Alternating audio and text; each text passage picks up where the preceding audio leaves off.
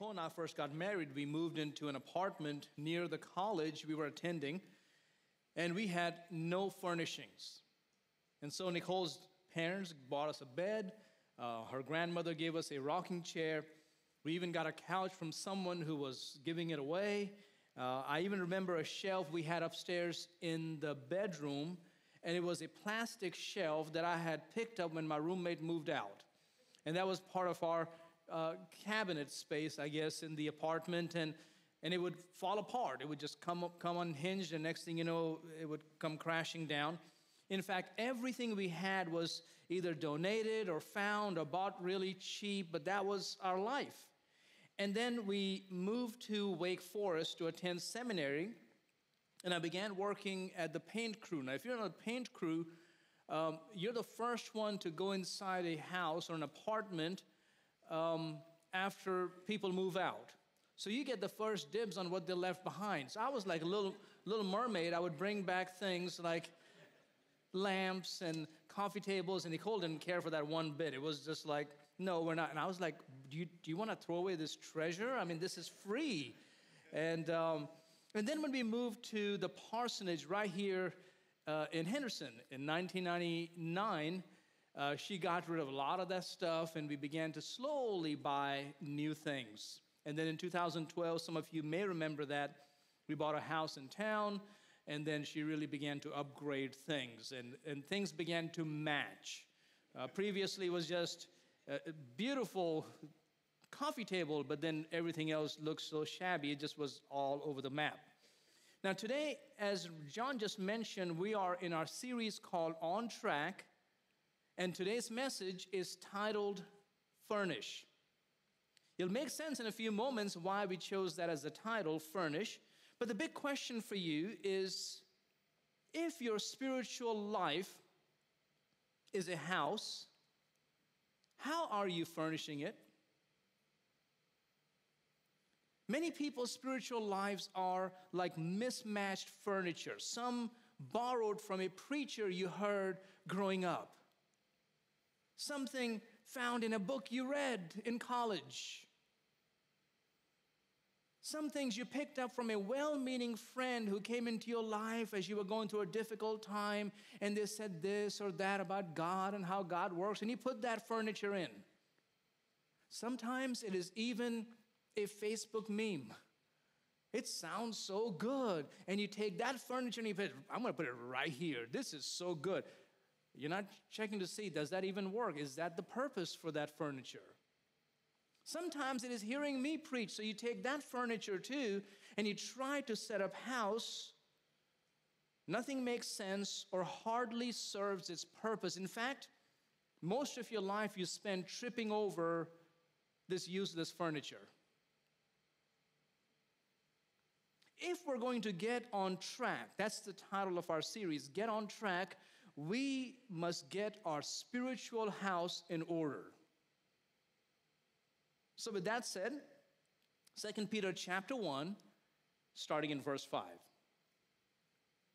Peter says, But also for this very reason, giving all diligence, add to your faith virtue.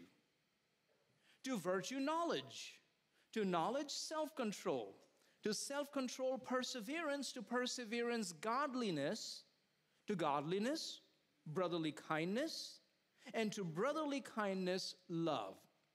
For if these things are yours and abound, you will be neither barren nor unfruitful in the knowledge of our Lord Jesus Christ. Second Peter was written by the apostle Peter to help believers get back on track. Hence the title of our series, On Track. In the passage I just read for you, Peter was listing all the necessary virtues that should be added to our Christian life so that we will be fruitful, so that we won't be barren. Let's look at those verses once again, starting in verse 5. Peter says, But also for this very reason, giving all diligence. The Greek word for diligence is spude. Spude means be earnest. You want to grow in your Christian life? You want to be fruitful? You want to deal with certain bad habits, bad hangups? You have to be diligent. This cannot be some lackadaisical Christian life. Oh, I'm going to be in church today and maybe not tomorrow, and we'll try. I need some help, but I'll call you one day. It doesn't work like that. You have to give diligence. Means spude means make haste. Spude means make every effort. Spude means be earnest. You're here this morning, I'm so glad, but I hope as you're listening, be earnest, be locked in. Your mind will be distracted. Your heart may go back to something that happened yesterday or even this morning. You have to say, No, we're not going to go there. I'm going to be diligent.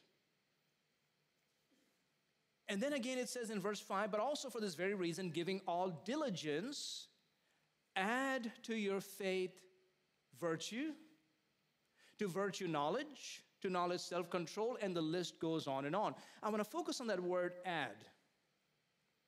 In the Greek, the word add is epikoregeo.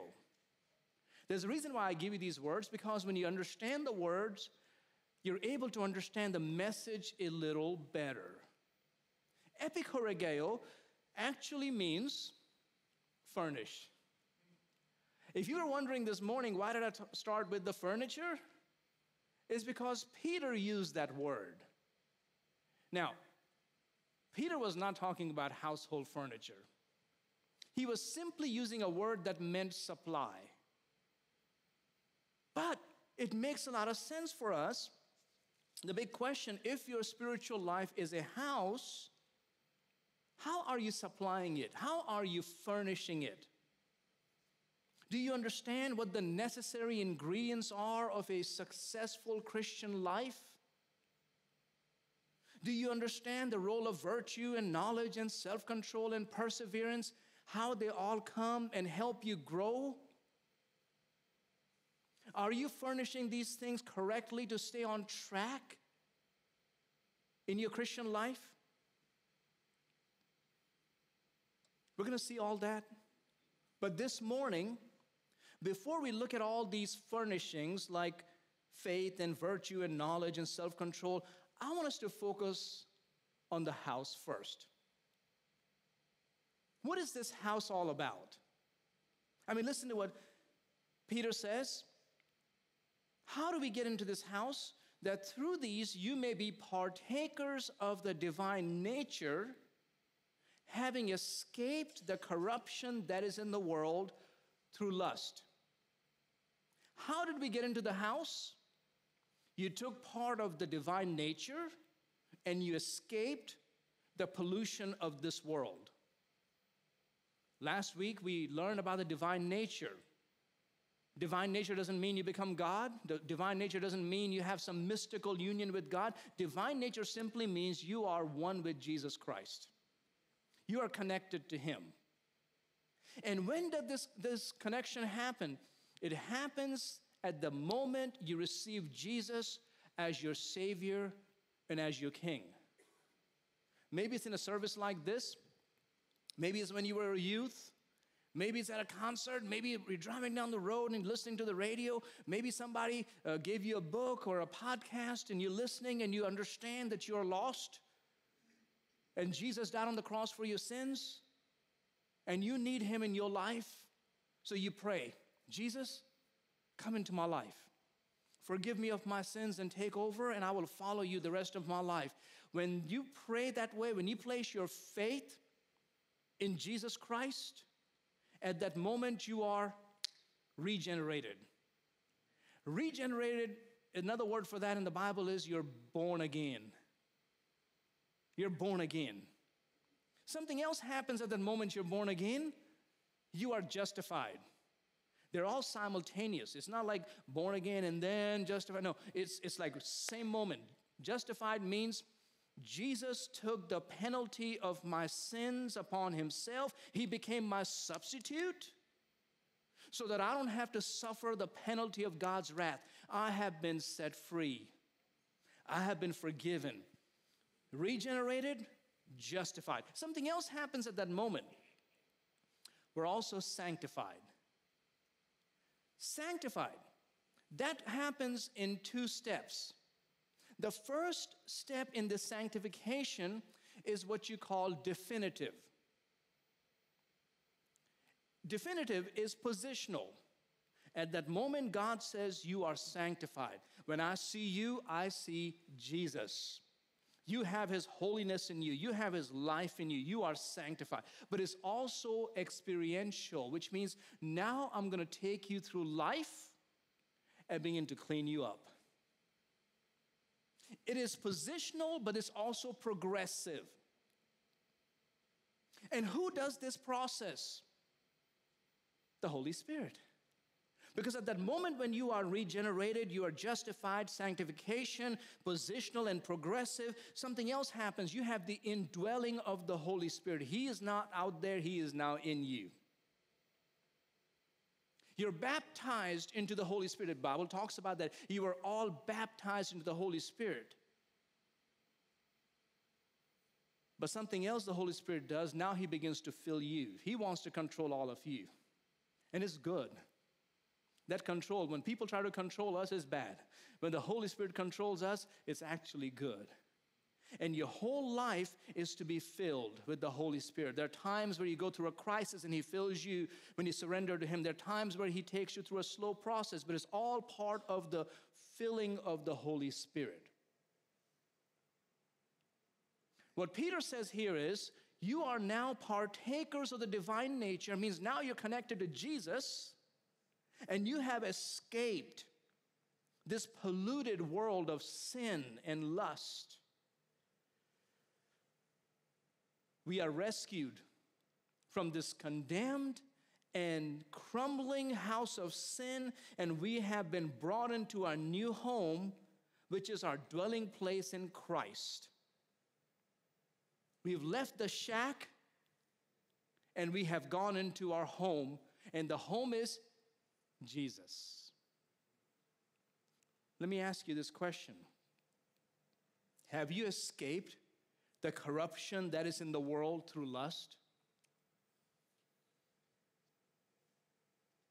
One of the greatest truths of Christianity is the fact that Jesus came not only to forgive us of our sins, but also to set us free from the power, from the control of sin.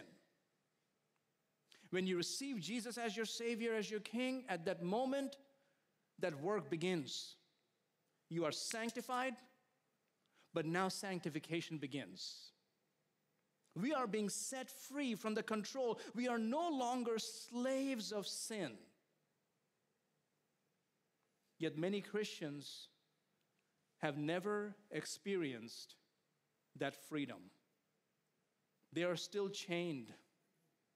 They are still chained to the old habits. They're still chained to the old hangups. They're still chained to the old attitude. They're still there.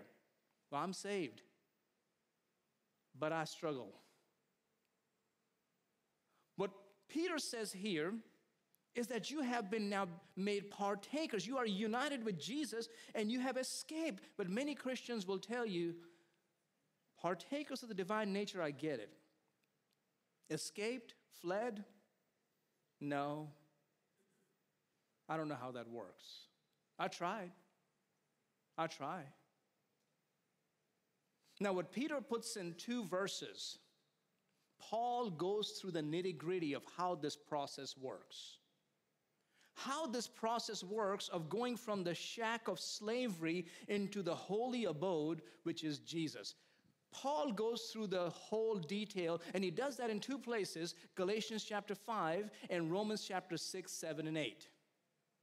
What I want to do this morning is for the next few moments, take Peter as our starting point, but I want us to go and get into the nitty gritty. How does this work?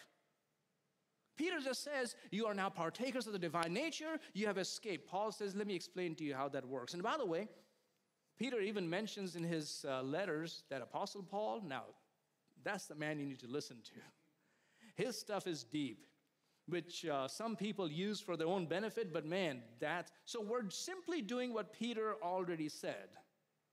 So let's go to the Apostle Paul. And let's begin in Romans chapter 6 and verse 6. How do we make this escape? Romans 6 6, knowing this. It begins with the knowledge. Ignorance is not bliss, ignorance is slavery. Knowing this, that our old man was crucified with him, that the body of sin might be done away with, that we should no longer be slaves of sin. Paul begins with the promise that sin is no longer our master. Now, this is a very important point. You cannot miss it. Remember, be diligent this morning. Rope in your distracted mind. And at this moment, Satan will bring this, that, and the other in your life or in your mind. I got to do this, or I cannot believe that happened. So you have to rope it in and say, No, I'm not going there. I'm, I'm, I'm locked in. I want to hear. I want to make haste and get what he's talking about. Sin was our old master, but God has freed us from him. How did God free us from master sin? He didn't free us by killing master sin. Sin is still around, folks. I mean, do you have to look far to see sin is still walking around trying to get us? But the way God has freed us from master sin is by killing us, is by crucifying us. Now, this is the heart of Christianity. You cannot miss this. How does this happen? Now, please don't go out there and say, I got to crucify myself. I got to kill myself because Pastor Shah said, you know, I got to kill. And, and, I'm sure you're not going to do it physically, but you're going to try to do something to, to beat this sin down. And that is not what the Bible talks about. You have to believe that it's already done. You know, 2,000 years ago when Jesus died, he not only died as my substitute, he died in my place, but he also died as my representative. When he died, he not only died to take the penalty of my sin, but he also died in my place. That's why baptism this morning at 8:30 we had a baptism. That water doesn't wash your sins away because what's internal cannot be washed with water. The water doesn't get you saved because there is no power, there's nothing magical in that pool that makes you a child of God. Salvation happens when you receive Jesus as your Lord and Savior. Baptism simply tells the world that you are one with Jesus. When He died, you died. When He was buried, you were buried. When He rose from the grave, you also have risen to walk in the newness of life. So when you go into the baptistry with me, or some of you have, uh, you know, I have you stand there, and then just like some of you who work in a funeral home, we have few who understand that, you lay that body down in that casket. That's what we're doing. I baptize you now in the name of the Father, Son, and the Holy Spirit. And I take you under the water because what, what's happening? You're being buried. Well, thank goodness we don't leave you there. we bring you back up because now you have what we're telling the world is this already happened in me. I died, I was buried, and I have risen to walk in the newness of life. You see, this truth has already taken place. Now we are dead to master sin. He still comes around, but I'm no use to him. I mean, what can you do with a dead slave? He's gone. So master sin is moving around, but, but what many Christians do is when master sin comes around, they try to dig up the old self. I got to fight him. And they dig up the old self and they say things like, I got to do better. You know, I, I have this temper. I, I need to be better at controlling my temper. And here's what happens they try for a few minutes and a few days, and before something happens and somebody presses the right button, and brrr, here we go, the big temper comes out. I'm so sorry, I'm so sorry, that was so not like me. But if you hadn't done that, I wouldn't have done this.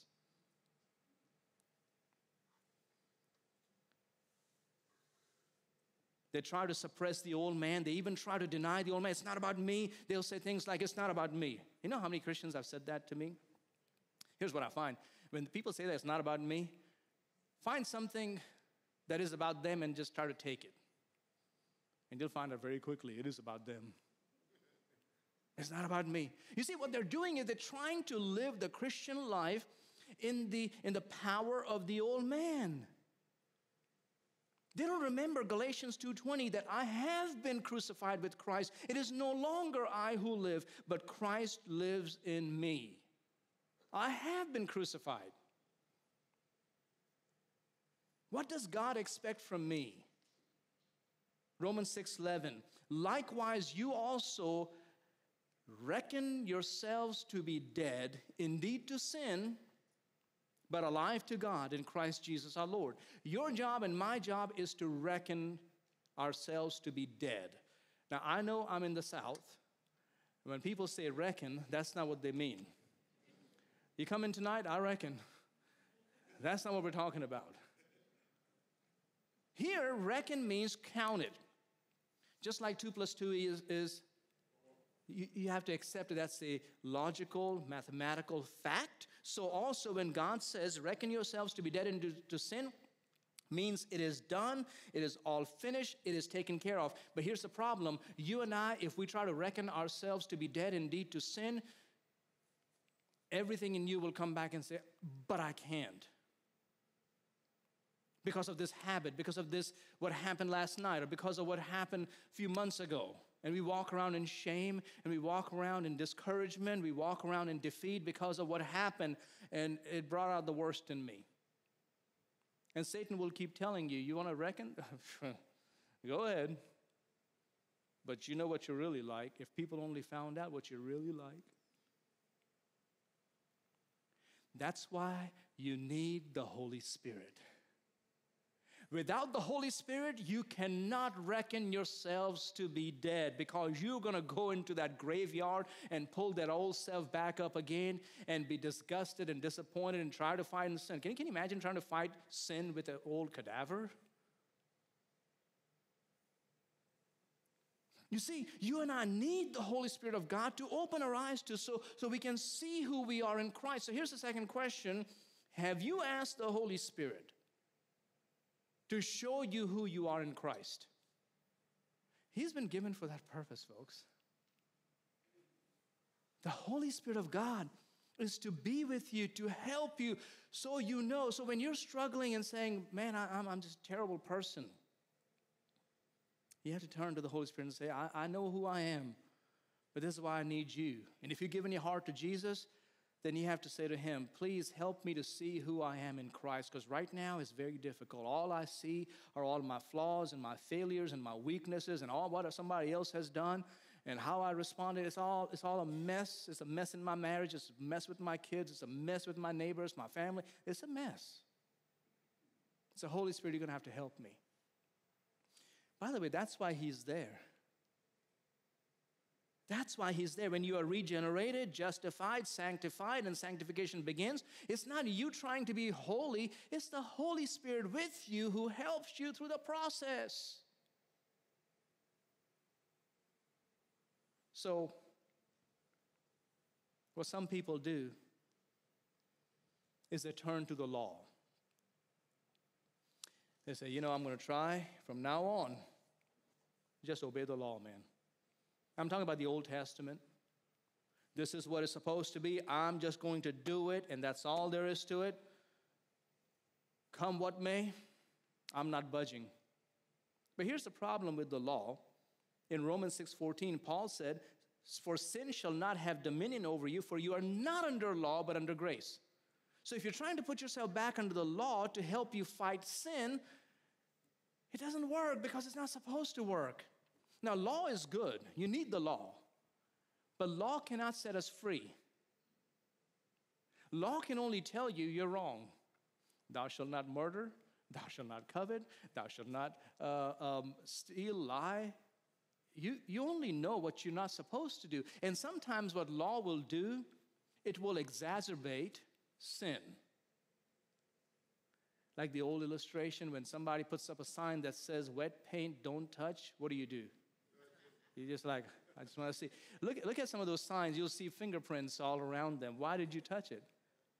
Now that's silly, but we do that in life. And we even laugh about it after church service. It's like, I don't know what you said, but you know, you yeah, I need a lot of prayers. What you're doing is you're using that laughter to cover up your failure to keep the law. You have a real struggle inside, but, but, but being funny helps you go, I guess it's all good. Paul says in Romans 7 8, but sin, taking opportunity by the commandment, produced in me all manner of evil desires. So, law actually produces. Isn't that crazy? Don't do this, and it goes worse. What do we need? Listen to Romans 6 17. Paul says, But God be thanked that though you were slaves of sin, Yet you obeyed from the heart that form of doctrine to which you were delivered. Though you were slaves of sin, yet you obeyed from the heart that form of doctrine to which you were delivered. Paul is telling the believers, telling us, do you remember when you got saved? You obeyed from the heart the doctrine that delivered you. That's the same way you have to obey now. Obey from the heart. Let me ask you this How did you get saved? How, how, did that happen? Was it like, well, you know, that's the point in our lives that I need God? Well, you need to receive Jesus as your Savior. He died on the cross for your sins, and you have to just fully trust Him. Well, sure. I'll, I'll do that. I mean, are you really trusting Jesus Christ? I mean, is He your Savior? Is your King? Uh, he died on the cross for your you. Now, you may not use the same words, and that's fine. But it's sort of like, yeah, I can take it or leave it. Yeah, I'll do it. I mean, are you trusting Him? Yeah, I am. Folks, that's not obedience from the heart. That's simply, I'll, I'll give it a shot. That's not what Paul says here. He says, You have obeyed from the heart that form of doctrine to which you were delivered. There is no half obedience, partial obedience when it comes to our salvation. It is to be full obedience as to who Christ is, why he came, why he died on the cross for your sins, and now the Holy Spirit comes and lives inside of you. As the sanctification process begins, you have to obey from the heart if you want to be delivered. And as you do, you're going to grow in grace. And one by one, the Holy Spirit is going to help you be set free. And the very first thing that He'll help you with is not your addiction or your eating habits or your money management. By the way, all those things are covered in this series. When Peter tells us in 1 Peter chapter 2 verse 3 that you have been given divine power pertaining to all things in life and godliness, all things means your physical health, all things means your financial integrity, all things means your relationship with people. All things means your mental, emotional well being, and godliness means your spiritual life. What we have done is we have separated them. I'm a great Christian. Well, you cannot manage your health. Well, I mean, that's different. I need to get some help. No, what Paul, Peter does here is he tells us the divine power has been given for all things pertaining to life and godliness. It's all in that, in God's work. But when you begin the process of letting you be set free, the place he will begin is stealing. He said, Now, that's one thing about me. I'm no thief okay? You're here this morning, and I'm preaching to you, and the Holy Spirit begins to convict your heart, and my message is you should be giving your tithes to the Lord. I know right now some of y'all are like, well, there we go. Preachers always talk about money. Okay? What is tithe? Tithe is your 10% that you are to give to God. By the way, your 100% belongs to God. Y'all believe that? If you have a problem with that, come talk to me and I'll explain to you how that works. It's not your 10, God is gracious and He says, just give me your 10%. God could have said, give me your 90%. God could have said, give me 100%. You know, the breath that is in my lungs, the brain waves that are firing upstairs, all can be just like that gone. So, I mean, everything I am is Him. My smarts, my ability to connect with people and build business and whatever you do is, is Him. So, God could have said 100%, but He said just 10%. But 10% is still living under the law, 100% is living by grace.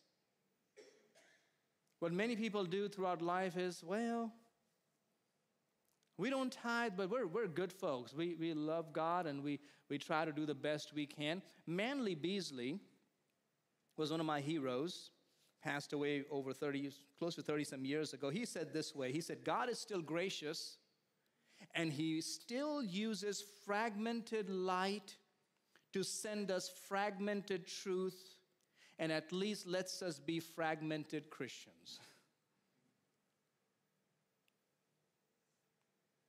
Nonetheless, most will never understand beyond the 10%, and that's, how, that's that, and that's okay.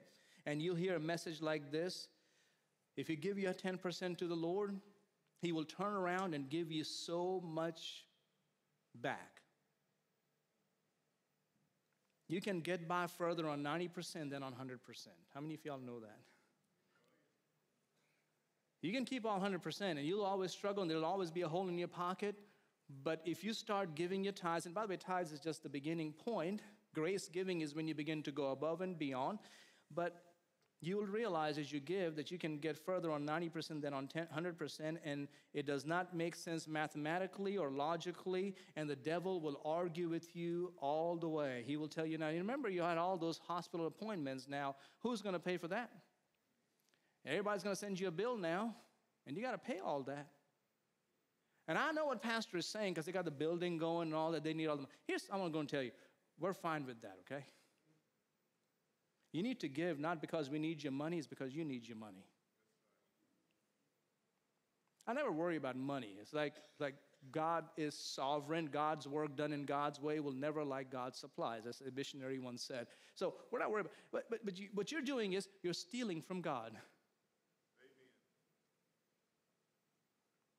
And here's what happens the devil will fight you tooth and nail, and he'll tell you, well, if you do that, now how are you going to pay for your, your kids? I mean, you know, they're in college now. You got to pay for this, and you got to pay for that, and we got to get a new car, and we got to buy this and buy that. He will give you all kinds of reasons why you should not obey from the heart.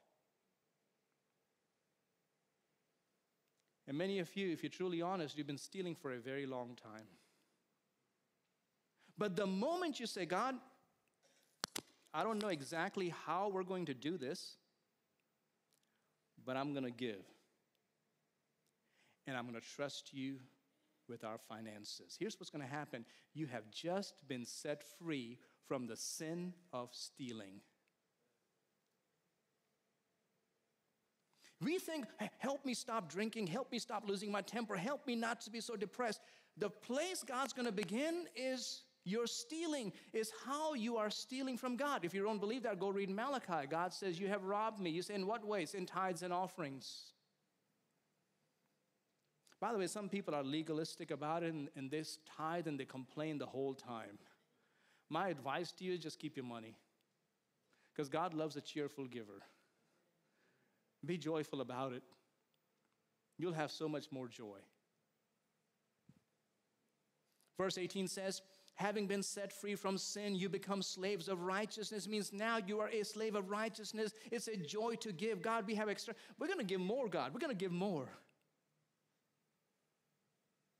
But most people's growth in grace only goes so far and no more. Most people obey from the heart only two steps they get saved and they stop stealing.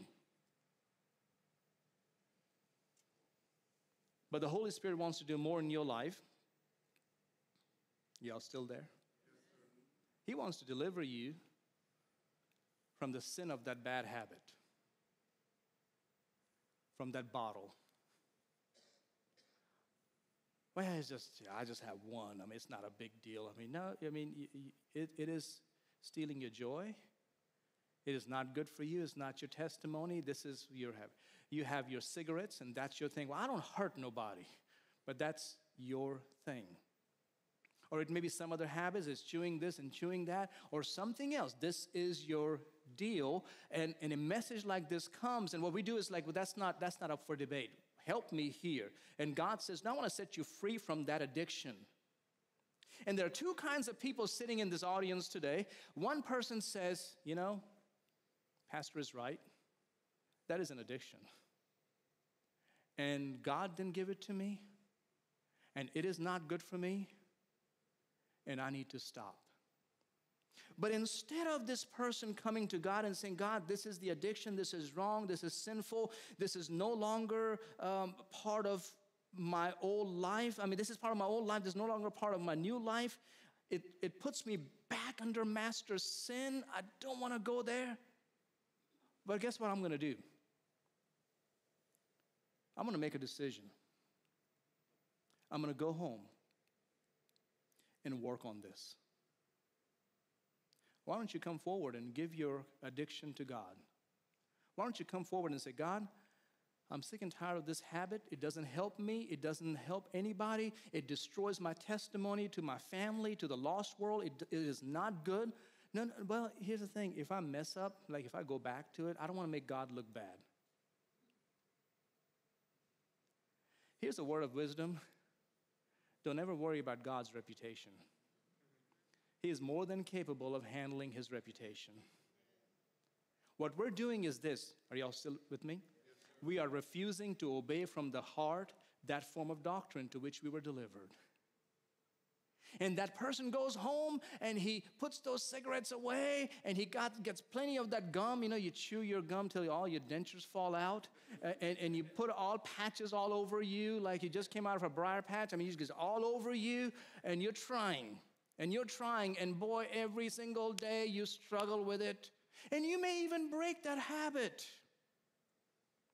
But the temptation is always there, always, always in here. But there's another person in the same audience right here who also says the same thing. You know, I have this habit and it's horrible. God did not give it to me. It destroys my testimony. I'm going to come to God and I'm going to tell him, God, I don't know how I'm going to break free from this habit, but I'm coming to you. Sink or swim, I'm trusting you. If I sink, if I fall, God, it is what it is. I'm trusting you. Here's what happens that person at that moment is delivered. The temptation doesn't go away. The temptation is still there, but it's no longer inside, it's outside. And there's a world of difference when the temptation is on the outside versus inside.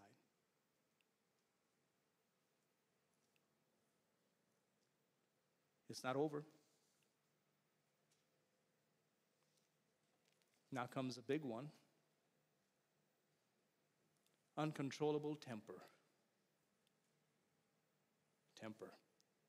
Now, temper comes in two different forms. Some people are like a volcano.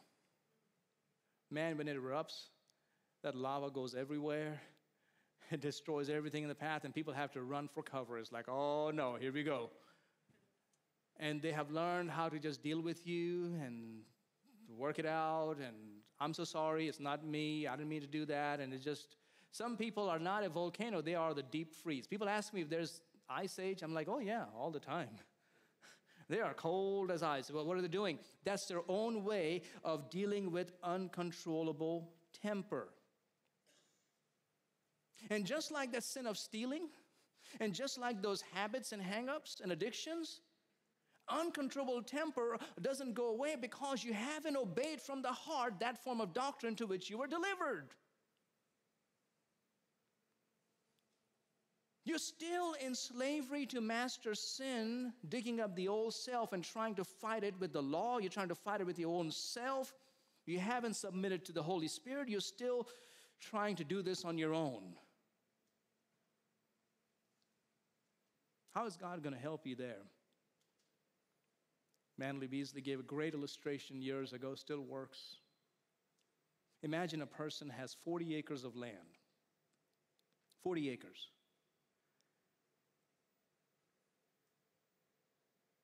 And the devil says, You can keep 39 of those acres. As long as I have one acre, that's all I need. What happens, folks, when you have one acre belonging to somebody else in the back of the property? You have to give them the right of way. You have to give, you can have a house as big as 39 acres, but as long as you have this one acre, you have to let them come right through. Here's what happens uncontrollable temper stays because there is something the devil knows is there that hasn't been dealt with in the power of the Holy Spirit. And so he waits.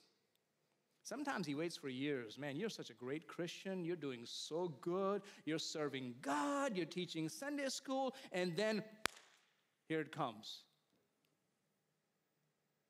And you go, where did that come from? You see, way back here, he already had a stronghold. And he was just waiting for an opportune time to raise his ugly head. You see, as long as we are properly related to Jesus by obedience, remember, you have to obey from the heart that form of doctrine to which you were delivered. What we have is a half hearted obedience, and then we say, God, it doesn't work. I tried, it doesn't work. No, no. You got all kinds of furniture in the house, and it's, it's you, you're saying, man, we have the greatest house in the world. No. Why blame God? Why blame Him? One of my favorite authors said it this way God will allow afflictions, trials, and failures, all these things to bring sin to the surface. And then he said this way He says, Scripture gives us many evidences of an unsurrendered heart, unreconciled personal relations. You have that thing, that's that one acre. The devil knows. Yeah, go for it. Well, I, Pastor asked me to teach a Bible study. Okay. Go for it. I'm waiting. Unforgiving spirit. Somebody did something wrong to you, you refuse to forgive. Now, forgiveness does not mean that y'all need to go on a vacation together. Now, sometimes you have to say, I've forgiven you, but you are now gone.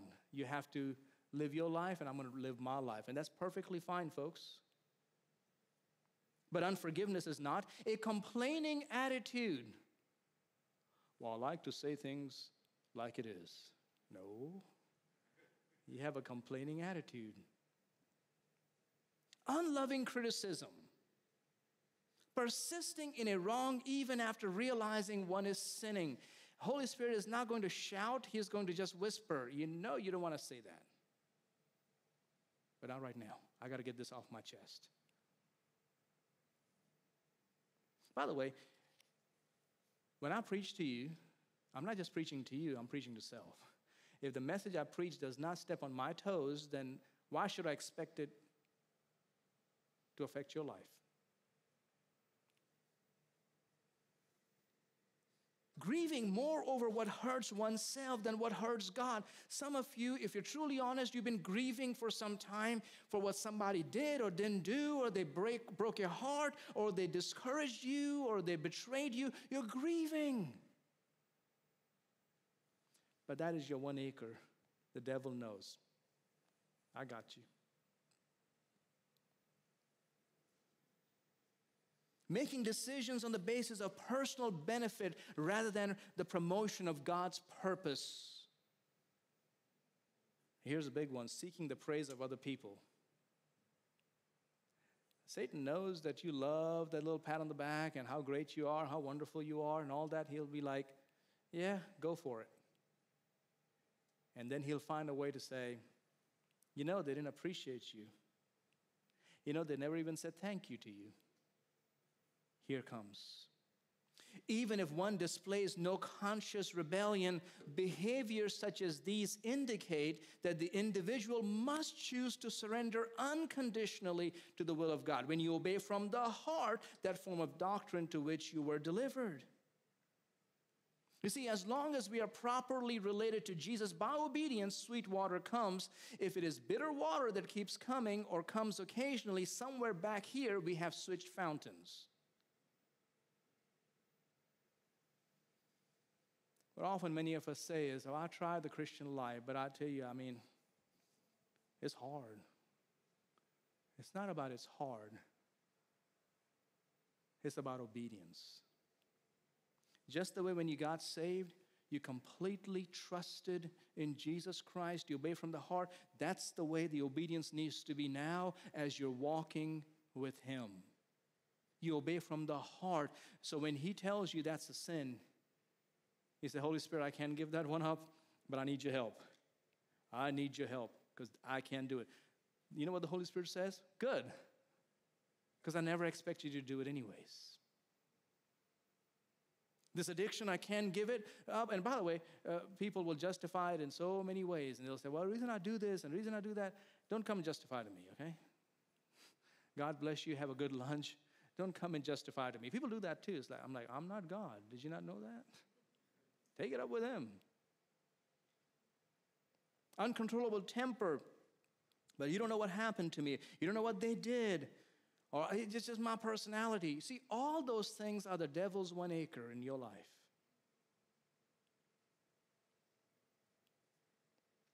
And this morning, my prayer is that you will turn to the Holy Spirit and let Him help you. Let Him help me.